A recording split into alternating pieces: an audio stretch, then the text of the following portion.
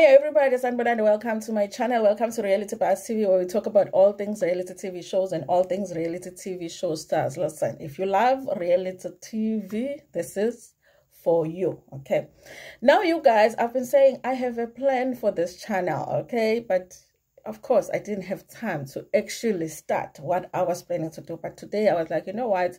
I've done, you know, a bit of research on the videos that I want to do. So let me start today. Let me give you the first video.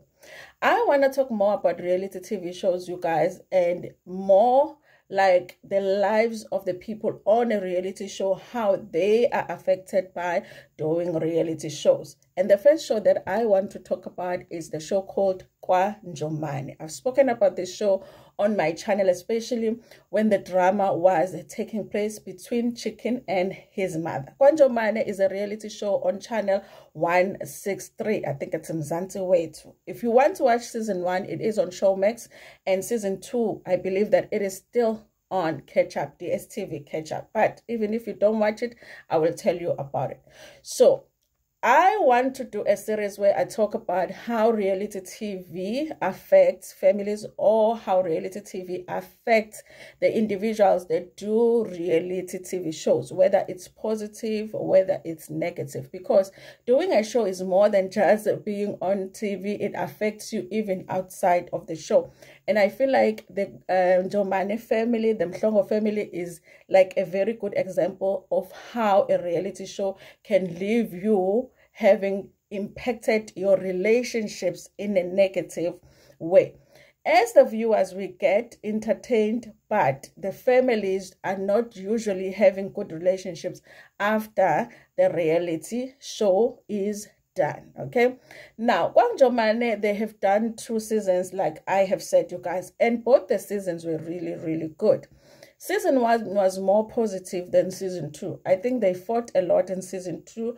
I think we started to feel like these people might be a family, but maybe they don't like each other that much. Maybe uh, they have issues that are not resolved that they need to resolve.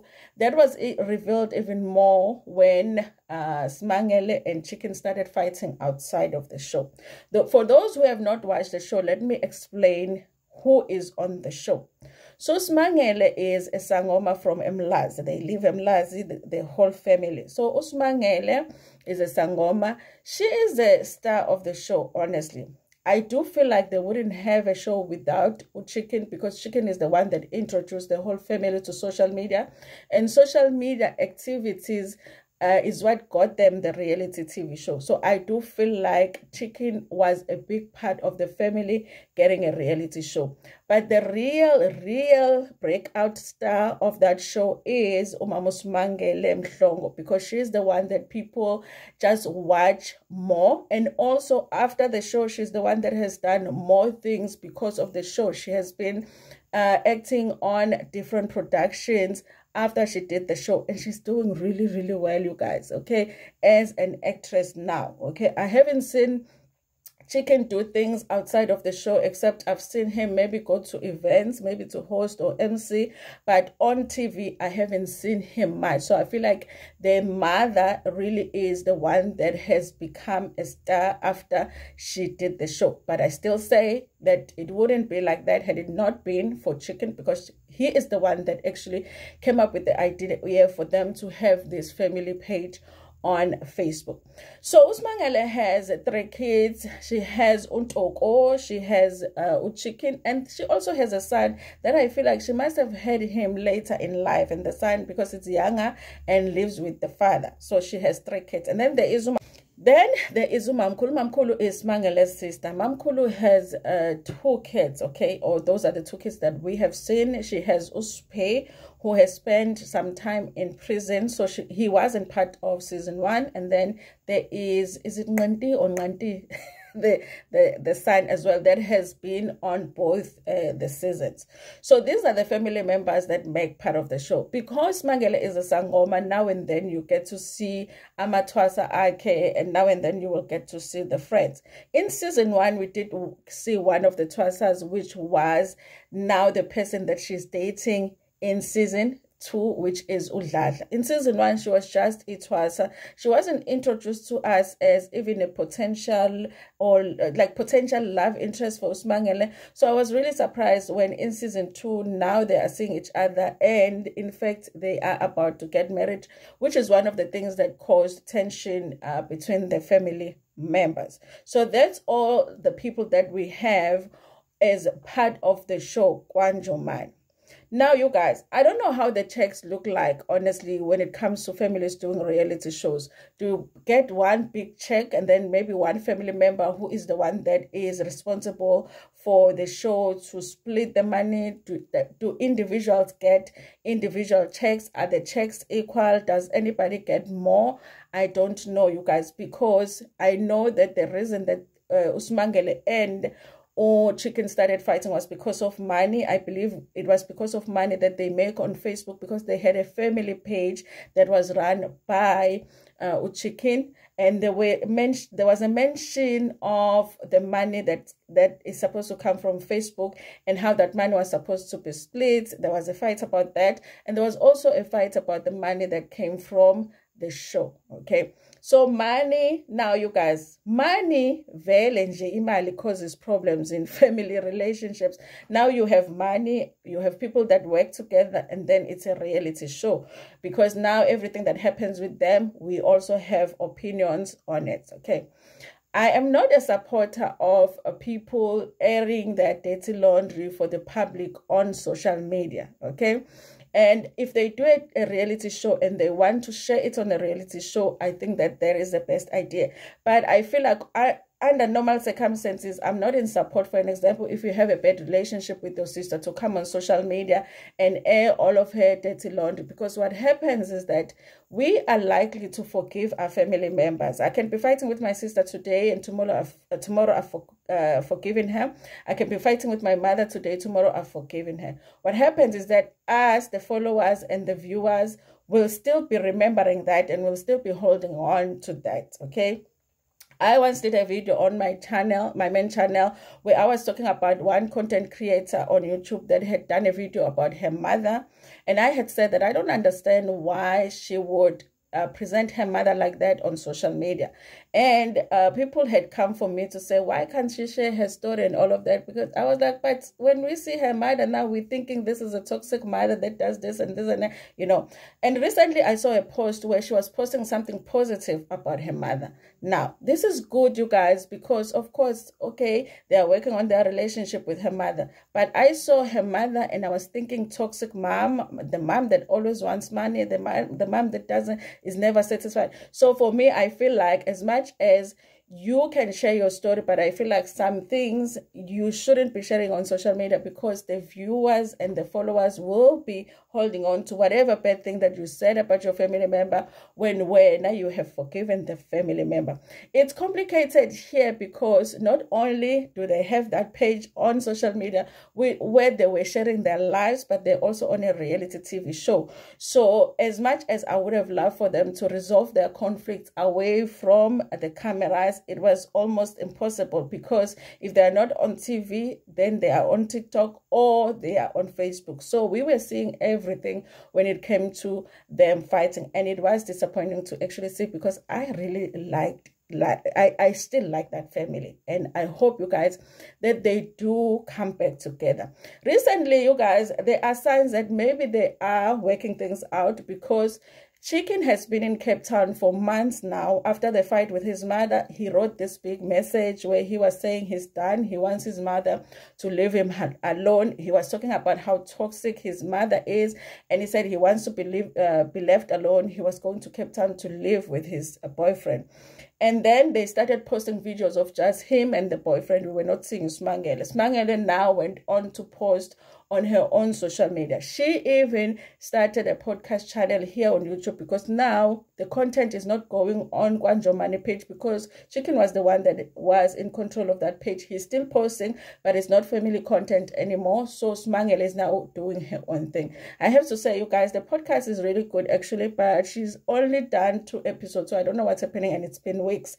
The two episodes were posted one after the other, and then they just stopped. I don't know what's happening, and the views are viewing, so I don't know okay but the podcast is really good One episode that she did on that podcast, it was her being interviewed by Um Rosa from from Ukhozi FM, and it's a good one, you guys. It's a good interview. If you like to listen to people's life stories, there is an interview to watch. Okay, it's one hour 40, 14 minutes, I think. But the only thing is that the interview is in Zulu. I guess you can put subtitles there, but it's not the same. Okay, but if you just want a summary, I will tell you over here what that interview is about okay? So in this video i want to take some time you guys for us to just understand a little bit about usimangele because that is the person that actually helped the family to get uh, famous because of the funny things that she would say on social media okay? So when you watch the interview on her podcast channel you actually get to learn uh, about her life, where she comes, uh, where she comes from, and what has made her the person that she is. Because right now we just see this sangoma that has the confidence for days, but if you listen to her story, you can understand her a little bit. I don't want to lie, you guys. When the fight between Usimangele and uh, Chicken started and they were doing it on social, social media. Not only was it Chicken that was posting what was happening with them on social media, but even the mother was posting everything on social media. I felt like this is a toxic mom. I don't want to lie. I was like, this is so toxic. I know it's toxic of uh, Chicken to do it on social media, but it's even more toxic for the mother to do it on social media. So watching the interview for me made... Um, made things clear for me in terms of who she is and where she comes from. Sometimes you just need to know somebody's story to understand why they are the way that they are. I know that her kids probably know the stories that she tells on that podcast, but I think that they would still benefit from watching that interview. I know maybe they're feeling like ah, we've heard these stories so so so many times, but I felt like maybe they would get an opportunity to understand their mother better if they just watch that episode. So I hope that Chicken and Togo, who is her firstborn, have watched that interview. Now, let's start with the rise and the fall of KwaNjomane. The background on Usimangele, Usimangele grew up Emlazi. They still live Emlazi, you guys. So, when she tells the story of her childhood, so her mother had her, had her sister, Umamkul, who's part of the show, had her sister before she married Smangele's father. Okay. Smangele's father was married to another woman whom at some point went blind and needed somebody to come and help her out in the house. Okay. So the girl comes, you know, young woman, I'm imagining she's not giving any ages. She comes to help here in the house. Okay. And we all know the helpers sometimes be helping in the house and be helping with the husband. Okay. So it became that kind of a situation. They discovered that this woman was not totally blind because at some point she's the one that is like, I know what's happening here. so she could see a little bit, but she never told them that she could see a little bit. So when they are getting up to no good, she could see them. But she shocks them by saying, listen, I can't see. I like this girl. She's doing a, a good job here. Just marry her. You know, I'm giving you permission to marry her. So that is how Smangele's mother marries Smangele's dad. Then they have Usmangele. And then after that, they adopted the brother that we see on I think Usai, the brother that we see, the funny brother that we see on the show, and then there's also Undota, the other brother. They had another child because after Usmangal, apparently the mother thought she was not going to have a boy, and then she had a boy. So there is an adoptive brother we do see on on on the show. I like the fact that when the brother is participating on the show, you never really feel like he is a he's like they treat her like a brother. He's very funny though.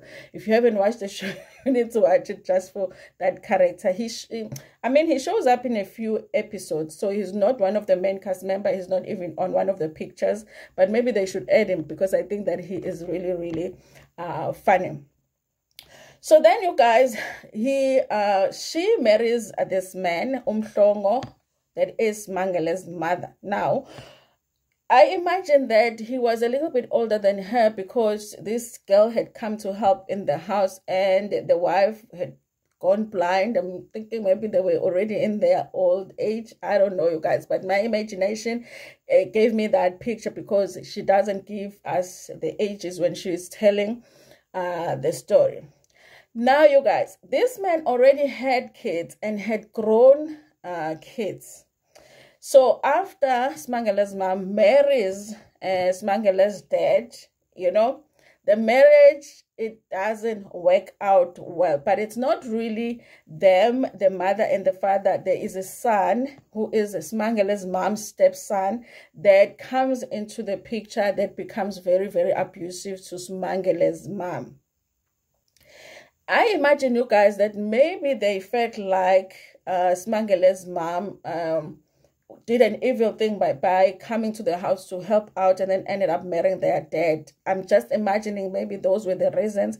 But when she tells those stories, she says that she has horrible stories of how they even found their mom swimming in a pool of blood. There is a story here about their mom having one of her legs amputated, so she only had one leg.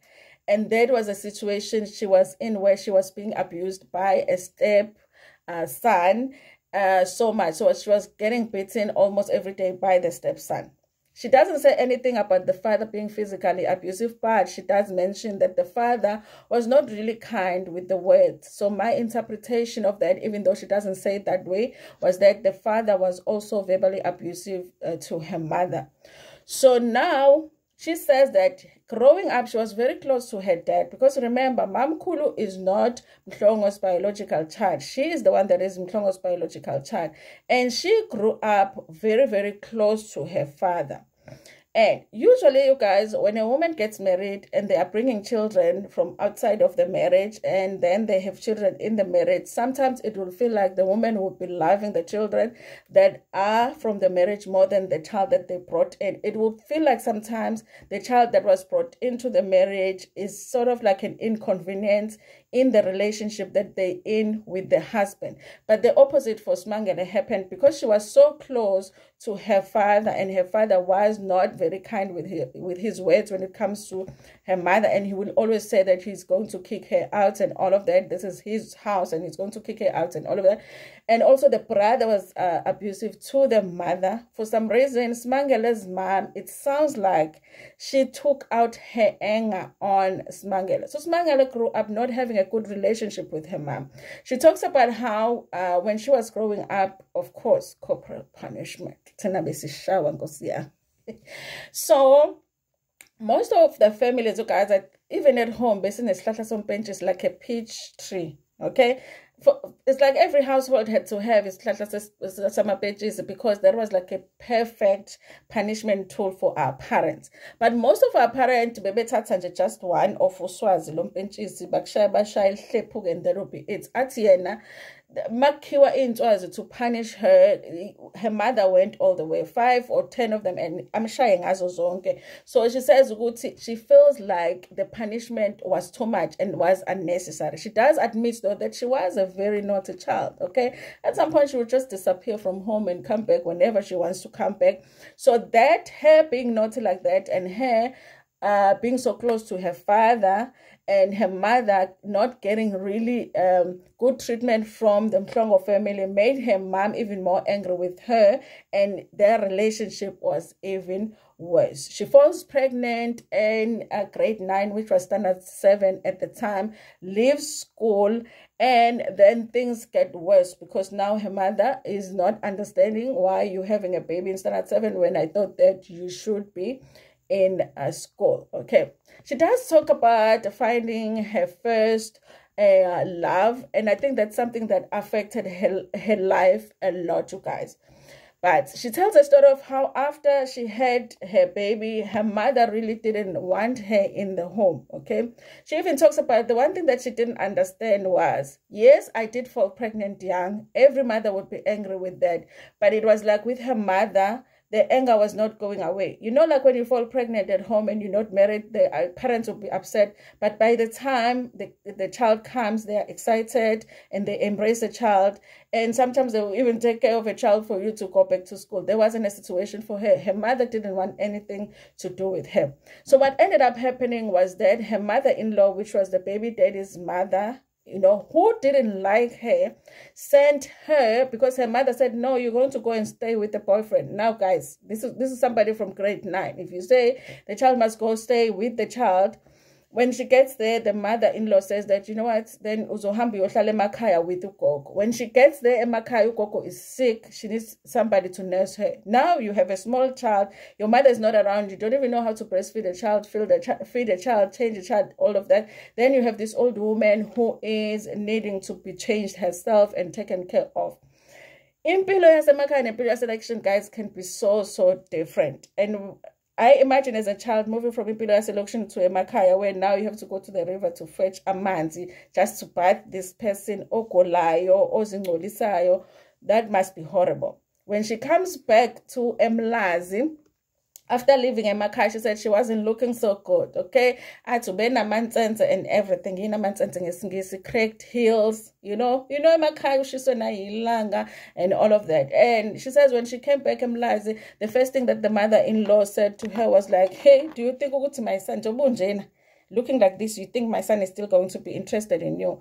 And she said that she was very hurt by that because the very same reason that she had gone to a, the the reason that she looked the way she looked is because she had gone to take care of this woman's mother back in Emakai. Now she's talking like this.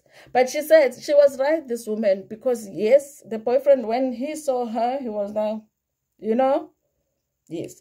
That's how she ended up having to raise a child all by herself because the father was not present. They do get together later on, you guys, but at that point, she had to see what she can do now.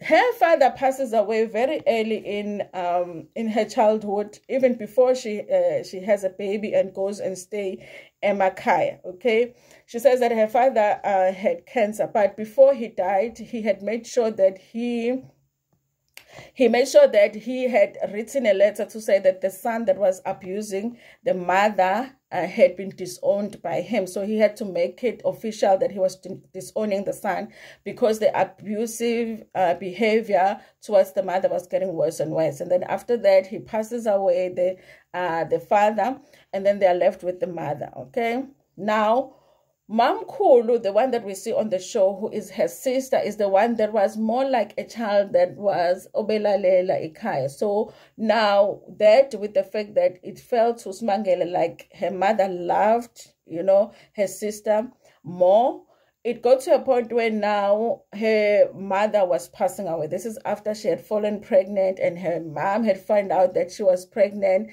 Guys, listen, she tells funny stories over there. If I tell all of the stories she tells, then this video will be as long as the interviews. But there is a story of her being at school and it's hot. She's pregnant. She already knows she's pregnant, but she hasn't said it home. She faints and then just decides to pretend like she's having a stroke or something. Then they take her home and she knows because the family is about to find out that she's pregnant. She decides to be acting like she's having seizures, heart attack, uh, not heart attack, stroke, stroke, and then she was shaking herself. it's a funny story. So her mom decides go to they need to go by Obono Umtandazi or something, and then they go, she's left behind with her sister. Her sister is taking care of her. So obviously her sister was looking at her and seeing when people are not looking, this one is well. and then when they look at her, she starts shaking. And then when they go to Sumtana, Mtana is like, listen, this go and ask her uh, ubani That's how her mother found out that she was pregnant, and it wasn't nice after that. Okay, so the, her mother passes away, and she says that when the mother passed away, that is when things started getting worse for her because now there wasn't a mother in the home to take care of them. Now they have to, you know, see what they do with their lives. Guys, I will end here for episode one and we will continue in the next video. Thank you so much for watching this video. Tell me what you think about it in the comment section. Like the video before pumegona. Share it with your friends with your family and even with strangers. Ngenitsanda kakhulu